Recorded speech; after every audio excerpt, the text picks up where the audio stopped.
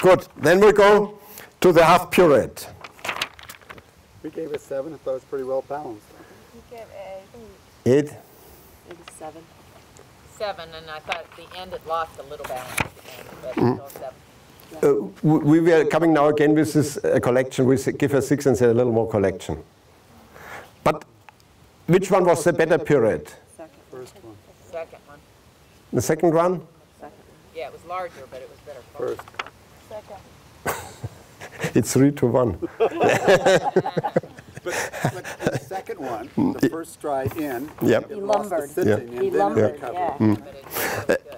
I- I think uh, we give also, uh, which one is it? Collected canine flying change. Uh, the second period, I think we have higher. Yeah, we have higher. It was a little larger the second one, but I had the feeling was more engaged on the second one.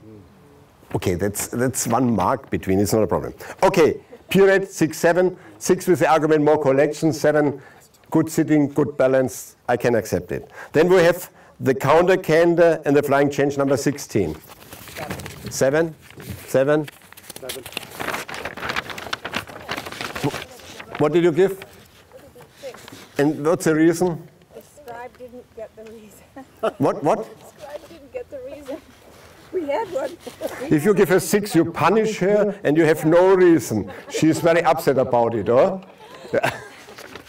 okay, uh, we give her seven. If you say a six, and you would have a little more collection in counter I would accept it.